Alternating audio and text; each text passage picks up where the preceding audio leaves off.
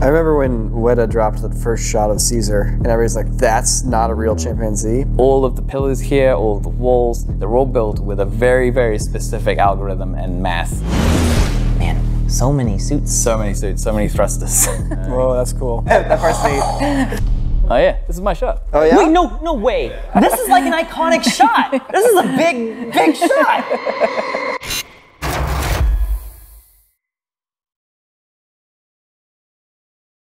welcome back to another episode of Visual Effects Artists React. We have a treat today. We are joined by Sean Walker from WetaFX. That's right, he flew all the way across the ocean just to be on our show. Sean, can you tell us a little bit about yourself? What kind of, what have you worked on? What do you do? I'm uh, Weta's visual effects supervisor. I've done a few films. In fact, I've done every Marvel film that Weta itself has worked on, at least that has been released, aside from Eternals. And, uh, uh, so I've been pretty keen to be involved in everything Marvel uh, when, whenever something came along. Yeah. Sweet. Well, let's jump into some clips and you can break down some of the cool stuff that you've, you've had to do.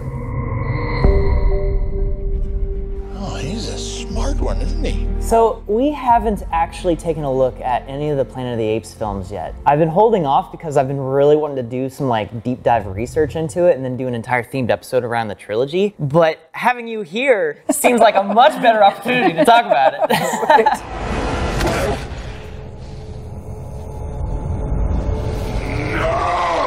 I remember when Weta dropped the first shot of Caesar, and everybody's like, "That's not a real chimpanzee." It was a pretty landmark moment for visual effects, and you know, perhaps a signifier of like where they were going to be moving to, like in this decade. You know, kind of like that last little bit of like, we're still on the verge of like the CG. The lighting's not quite a full, accurate representation of how physics actually work with light, but it's really close to something like, and we're there. Yeah.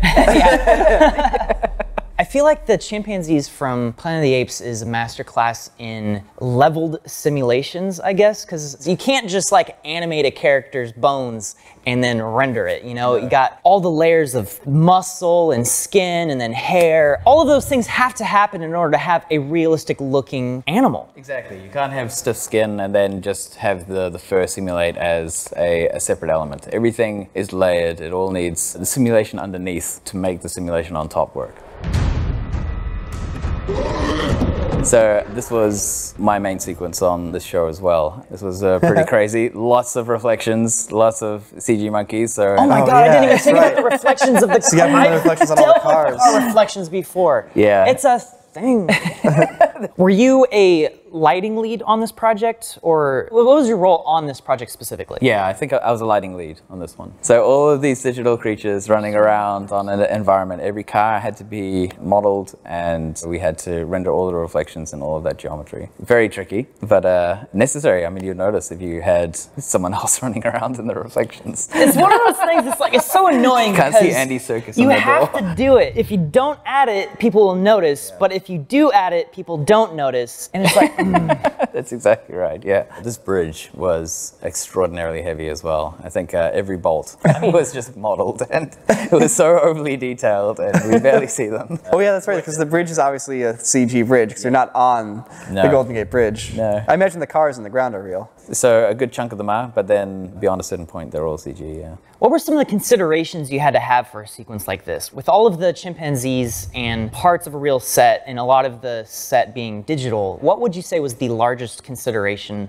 that you had to take? For the most part, it was just dealing with all the interaction. There's just so much that goes on in a sequence like this. For every character or actor that these creatures interacted with, you always had to match move and make sure that you had those beautiful shadows that played off them as well. Same with bounce light. You always want to make sure that if a character is obscuring someone in the plates, then you want to make sure that that's obscured uh, properly as well. And then just, yeah, the, the enormous amount of reflective material in the scene was uh, something you just had to deal with. So Dawn of the Planet of the Apes, this is the second movie, and I remember there being a really cool sort of innovation on this movie, which was on-set motion capture, and you didn't have to like redo any of that stuff in a studio. Yes, exactly. For the most part, I think we called it performance capture, and we did go back to the studio occasionally to do some motion capture. I mean, but- that's fair. yeah.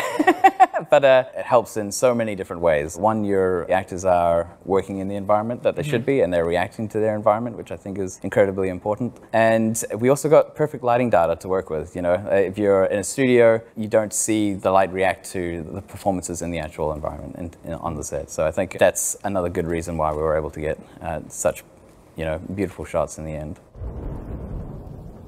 Oh yeah, this is my shot. Oh yeah. Wait, no, no way. I lit and rendered this. Yeah. This is like an iconic shot. Yeah. This is a big, big shot. This was tricky as hell. And it was the first movie that we started to use Manuka, which is our path tracer that we built from the ground up. And to get this level of detail with the tools that we had at the time was very tricky. These are huge projects, so the amount of people we had working on them was insane. This was at a time when almost the entire facility would be working on uh, individual projects. So, uh, yeah, a lot of people worked on these ones. My impression of Planet of the Apes was this is kind of Weta's demonstration of everything they've learned with character animation from Lord of the Rings, and then as they like branched out with like King Kong, to then bring it all together now in something that's not Lord of the Rings. You know, it's not King Kong. This is brand new, and let's show the world that we can redefine digital effects. I, I felt that too. When we were even working on it, I knew that this was something special. Rise was kind of that stepping stone, and then when we hit Dawn, I just knew that this is sort of pinnacle effects. I mean, even having worked on these, these shots still blow my mind. I think the assets were unbelievable to work with. The story and the lighting and the end result still blows my mind even when I come back to watching them years later. I was very disappointed that it didn't win the Oscars. I think all three, all three of them are know. robbed, I tell you. I know. Yeah. I remember when War for the Planet of the Apes was going to the Oscars, I distinctly remember being like, it's gonna win. And then when it didn't, I was like, what? what? I, I. I was, I was blown away. Anyway.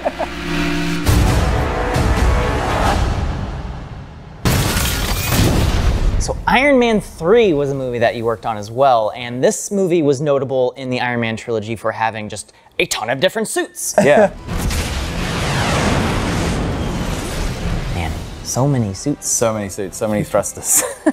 so we had, uh, what did we end up with? Maybe 40 odd suits, all very unique. Our team had to develop ways of handling them all. So all of the thruster work, all of the lasers that they were shooting was pretty much automated at a certain point. Animation would drive the look of all the shots, and then we set up systems that would just replicate what they did, but make it look better. They shot a lot of this on set, so this environment actually existed, but we did go fully digital quite a few times. That was an actual practical effect as well of oh, him cool. like smashing through. Wait, really? Yeah, yeah. So there was Some lots real of explosions there and stuff? Yeah, there was a lot of real explosions here. Those containers getting flipped up, all practical. We just put a Igor in here. Igor is the name of this particular one. Okay. and they all had their own names. It was pretty funny. They, you know, they were pretty classic. So this guy, you see him jumping off. That guy who jumps off was literally an actual stunts person who jumped off this insanely Oh, wow. high thing, and then we had to get rid of him because he jumped onto a, a digital Iron Man, and it ended up this beautiful stunt. Uh, had to go away, and it, Oh. it would have just. I mean, that is a brave person to. Yeah. It was literally like a bungee jump. So he, Wow. which was a little bit sad, but that's the kind of thing that just happens every once in a while. Again, beautiful reference. That's what we end up with. That's true. Reference is super important. Dude, his arm broke. yeah, that's definitely a digital arm. This is Extremis effect is something that we've pretty much call the Extremis effect from now on. Like whenever there's glowing interior hmm. bodies. It's a very unique look because, you know, skin is slightly transparent. If you shine a light through it, it kind of glows. And so that's why you end up with a little bit of like that red sort of glow. But it's a whole different monster when you're having light inside of like an object like that emitting light and it's now glowing from within. Yeah, we actually built this up in so many different layers. We have little volume lights and little point lights that are lighting up Killian's interior here. And then the veins would occlude the light, and the same with the skeleton. So I'm assuming that's a full body replacement, right? Yes and no. Some of it was, but we wanted the uh, tattoos to occlude the light. So we wanted the tattoos to be real, we wanted the skin to be real, so we kept almost all of that. And the rest Oh, of this is actually just passes on top and multiple different layers that we use to augment the actual plate rather than replace them entirely. So you're seeing a lot of that sort of glow where you can kind of see like the muscle on his arm and the veins and whatnot. Are you saying those are 2D passes on top? Yes. Yep. Okay, Exactly. okay. Yeah. And then someone had to roto all of the tattoos and make sure that those passes were occluded by the tattoos as Gotcha. well. So all of this stuff here, Guy Pearce was on new shows. He had half a beard, and they thought it might help if they just glued his beard down to his face. Wait, wait. So that you're saying this was a pickup, but he was already on another project. This is like Superman's mustache. Yeah, Kind of a scenario here. Very much, yeah. And they're like, all right, we're gonna have to paint out this beard. Yep. So it'll help if we just make the outline of the beard smaller by gluing it to his face. Yeah, yeah. Oh, You know what? That's actually kind of clever. Did it help? No, Never mind. he's an entirely digital character. Really? Yeah, 100%. Wow. At a certain point, it kind of just makes more sense to do it that way, and especially for for like that moment there where he's like entirely falling apart, crumbling on fire, lava yeah, man. the stuff that comes off him, I think this is a beautiful effect. The skin that Yeah. that, uh, Yeah. that cools and fractures and then peels off. I think uh, it's it's amazing. Yeah, I really dig it. Man, I can't imagine building a digital human of that quality and of that caliber for like five shots. Yeah, exactly. It's true. It's insane. Yeah, I thought Guy Pearce's character here looked extremely well done. Yeah, for the time as well. Yeah, what year did this come out? Was this 2013? Yep. You know, it's weird to think of a movie like Iron Man 3 being almost a decade old. Yeah, that's Yeah. true. Yeah, Christian is like, Well, when I'm looking for stuff to react to, I go to the comments section of each video. So leave a comment to help me out for the next one. Please.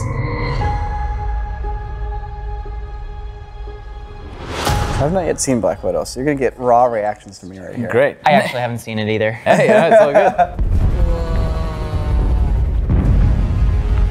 This was our sort of like super large effects task for the show. I love the rendering of the avalanche. Everything is always perfectly backlit and the light's going through it just in the right way. We studied a lot of uh, real life avalanches to make sure that we were, you know, accurate to the light penetration into an avalanche and snow. It's a lot softer than you would anticipate. So this is a little bit more dense than I think would be real, but we needed that weight to be able to justify the explosions and the destruction that goes on as well. So it's probably a little bit more uh, snow chunky heavy than everything else. yeah. That's so good.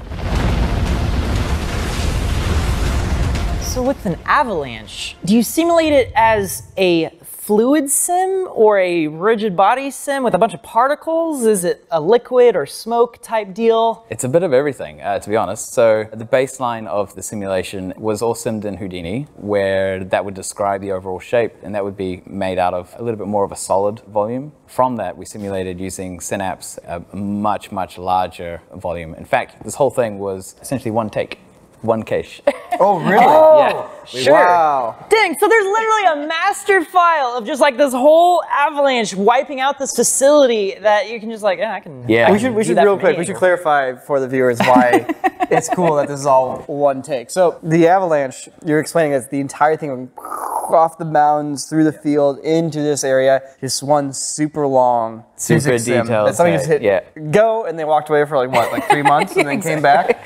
But the reason we did it is because we wanted the flexibility at the end of the day to alter the timing. Because they were cutting things in and out, and uh, you know, if you, you take away a shot, all of a sudden the avalanche isn't in the right place at the right time. So all of that stuff in the background, it's all just one giant simulation Um, that we were able to, you know, reverse and forward wherever we needed to match the composition of the shot. I guess it also makes sense that you'd need to do it in one simulation too, because you need all the like the remnants of the avalanche. Yep. So like, let's say it's like, okay, we need a shot that's like, you know, 30 seconds after the avalanche happened. It's like, well, you need all that lingering snow and smoke. And like, sure, you can go in there, you can start doing it by hand and put it Yeah. all in there, but well, how do you get it there? Well, you just you simulate it. exactly. exactly. Yep. Whoa, that's cool. that part's neat. That, that's the promise of uh, simulations right there, is you can do stuff like that. Because back in the day, you'd have to film it as a real element, but you didn't get to have that kind of interaction with it. No, the one thing uh, that you always need, you know, simulation is hard, but there are just some things you just can't do without a, a really good effects simulation artist. So I'm not quite convinced it's not just like real steam that you guys filmed. Some liquid nitrogen on proud the of table. that. Yeah, it looks pretty great. I do agree. So there's one thing I've wanted in life. It's a diamond play button. You get it for having 10 million subscribers on YouTube. Well, we are only 4.55 million subscribers away, so help us out. Consider subscribing.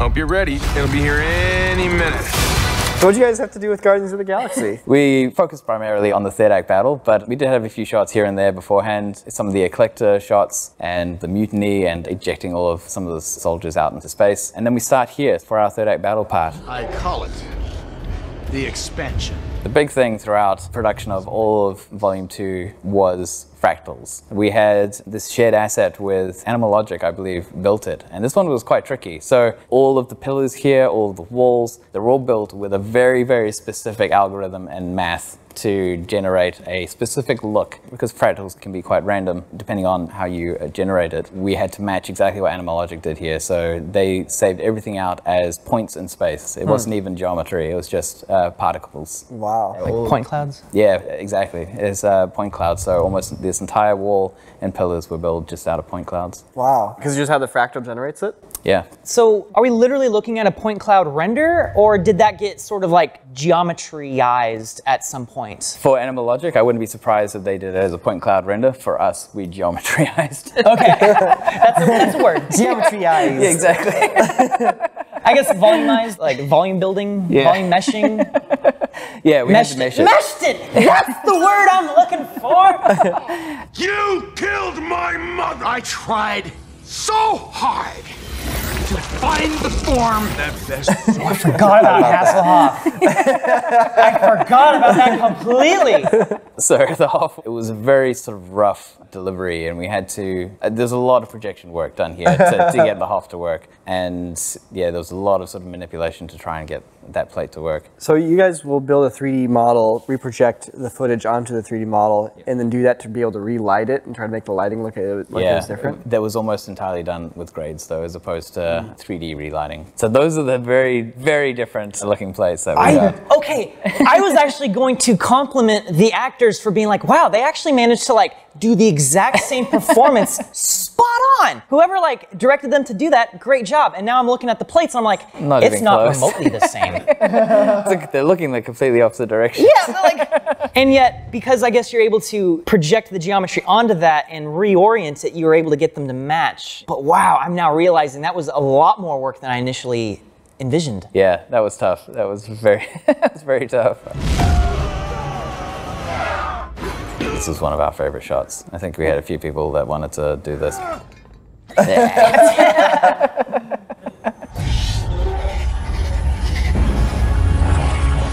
So this whole planet has like an internal structure to it that you guys Yeah. had to create for this movie. Yep, all of that internal structure is based off of that original algorithm that we got. And then we artistically started to pull pieces out, skew it, and bend it into place. I love how dense these models are. This environment was insane. Like it was so big. I think a good chunk of these shots probably could have been done in a much cheaper way. But in saying that, doing things the more, I guess, expensive way meant that we could shoot this thing from any angle we wanted. So we knew that when we were going into it, we could give James Gunn the opportunity to position the camera anywhere in the in the scene, and it would just work. So after actually generating these pillars and everything, every pillar has been dressed with the tiniest of, I guess you would call it fungi, like uh, they kind of resembled fungi. Was, Yeah. uh, just all this additional detail was dressed on top by our layout department, and they just scattered all of this additional geometric detail on top of all the base that has all the holes and the fractal detail.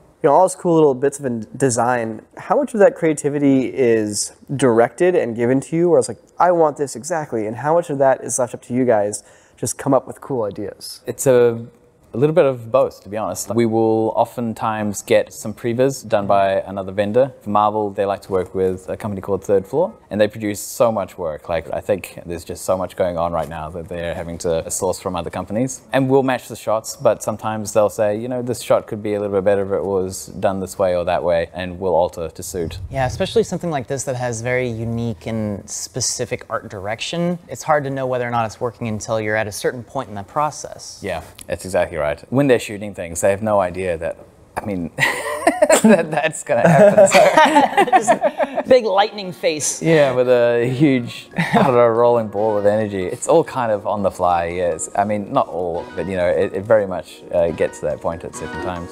Okay, we got a little nerdy and detailed about that sequence there, so I think most of that's probably gonna end up on the website. So make sure you're subscribed to corridordigital.com to see us go into some pretty granular detail about that whole sequence. There's a free trial, no skin off the back. No so- skin attached. No skin attached. Skinless. it's always crazy to actually study the visual effects from the people who created them. So Sean, thank you so much for joining us today. It was a huge honor to have you here. I wish you the best at the Oscars this weekend. By the time this episode comes out, all the news around the Oscars will be out, but you'll be there witnessing it in real time. Oh, wow. And I'm a little jealous.